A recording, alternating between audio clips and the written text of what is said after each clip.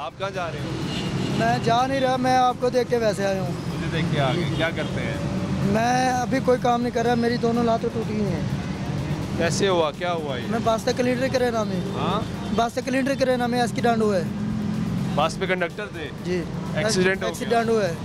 वो जो आपका तमाशा प्रोग्राम चलता है ना वो फाज शबाज खान। मैं उसका भी बहुत फ़ैन हूँ पहले मेरा इंटरव्यू वायरल हुआ था इस लाहौर न्यूज़ पे। वायरल हुआ था? वायरल हुआ क्या कहा था आपने? वो स्टेशन पे ना मैं फ़ीस बिल्ला पानी पिलवा रहा था। अच्छा। जी। तो अब काम नहीं है? मेरा कोई काम नहीं लग रहा। काम नहीं लग रहा? आज मैं काम के चक्करों में ना मैं काम के चक्करों में आ रहा था। तो मेरा कोई काम कारोबार नहीं है। आप मेरे घर जा के देखें मैं डेली फ़ोन करता हूँ कि- आप मेरी कॉल नहीं उठाते। वो दूसरे भाई जो शाम को तमाशा प्रोग्राम चलते हैं मेरी कॉल नहीं उठाते। मेरे घर में ना कोई आटा ना गेहूँ ना चीनी कोई चीज़ नहीं है। कुछ भी नहीं है? कुछ भी नहीं मैं काम की खातिर गया था। धक्के खा खा के कहीं काम नहीं मिलता।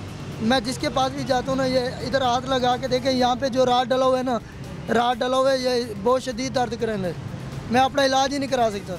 मेरे घर जो बच्चे है बेटा उसका चेहरा जा के देखे। मैं उसका भी इलाज नहीं करा सकता। ये जो हुकूमत कह रही है भाई फ्री राशन है? क्या दे रहे हैं फ्री राशन? ये तो उन लोगों को दे रहे हैं ना जो आप इनके अपने लोग हैं। अपनों को दे रहे हैं। अपनों को दे रहे हैं। इन्होंने गरीब आवाम को क्या देना है? आपको नहीं मिल रहा। कहाँ मिला है? आया नहीं अभी तक। नहीं है उधर तो बहुत दूर की बात है आना तो बहुत दूर की बात है।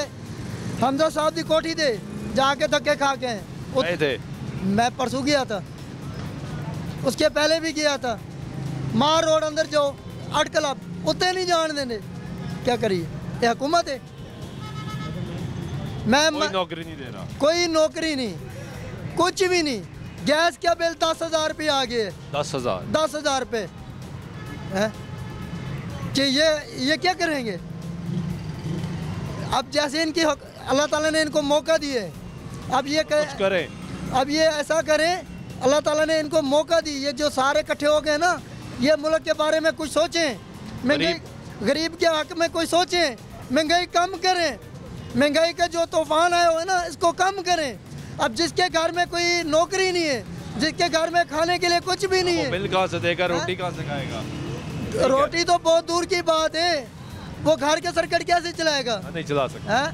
उसके बाद गुफ्तगू सुनने आप नौजवान की।